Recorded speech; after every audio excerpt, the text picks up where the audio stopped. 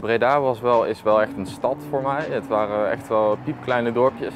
Uh, zeker in Zoemond. Het is zo'n plaatsje met 500 inwoners waar je gewoon iedereen kent. Uh, ik heb ook een, uh, een, een, soort van imago opgebouwd daar als die ene gast die rare dingen doet voor een camera op straat.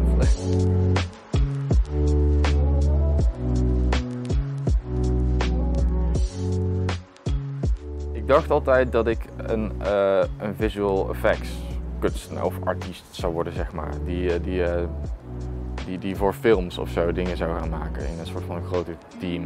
Minder als uh, onafhankelijk kunstenaar. Ik denk dat de quarantaineperiode en mijn eigen camera kopen en zelf fotografie ontdekken, dat dat wel een beetje bepaald heeft dat ik dan deze kant op ben gegaan. Dus ik, ik weet het niet, misschien zou ik wel niet op de kunstacademie zitten als, als die periode er niet was geweest. Wat ik maak oogt altijd als een foto, maar uh, meestal zijn dat hele in elkaar geknutselde composities van misschien wel twintig foto's. Waar dan eigenlijk het, het idee van een foto van een moment vastliggen echt helemaal niet meer, het is daar niet meer in te vinden zeg maar. Beelden maken die echt lijken te zijn, maar waaraan je ziet dat het letterlijk niet kan. En een soort van, inderdaad ook humor erin verwerken. Mijn, mijn, mijn werk heeft best wel een herkenbare look, zo te zeggen. Uh, die je niet echt bijvoorbeeld bij de andere projecten die ze al geselecteerd hadden of die gepresenteerd werden ook zo precies terugzag.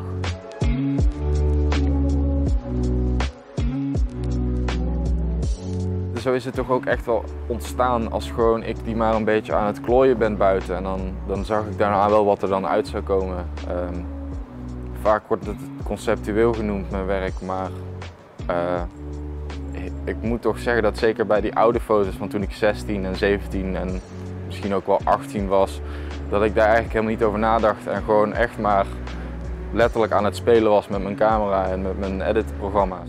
Dat maakt het ook wel leuk. Uh, ook van die foto's dat ik dan in januari dacht, uh, ik wil hier in het water gaan liggen. Dat is dan ijskoud, maar toch om een of andere reden vond ik dat dan gewoon heel leuk om te gaan doen. Gewoon van die, van die domme domme dingen eigenlijk om uiteindelijk een, een, gewoon het beeld wat ik in mijn hoofd had te kunnen, te kunnen realiseren.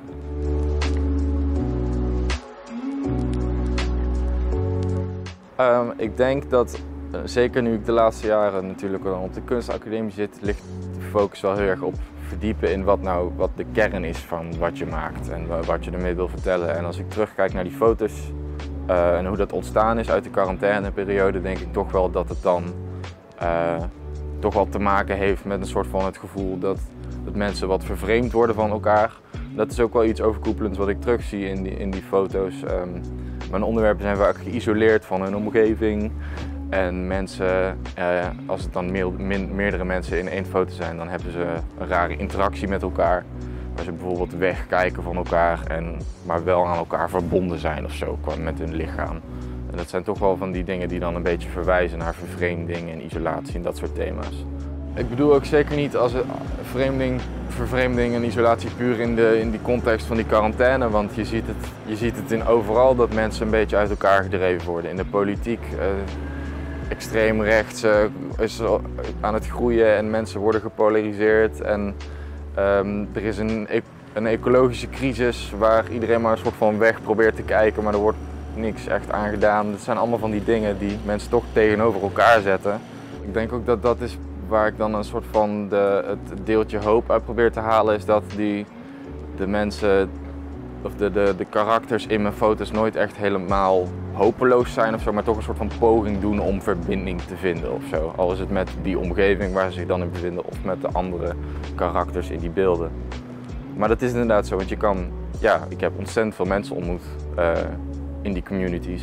Maar tegelijkertijd kun je daar ook helemaal in, in, uh, in, in, verdwijnen, zeg maar. En vergeten dat in de echte wereld precies hetzelfde bestaat. En dat dat misschien nog wel waardevoller is.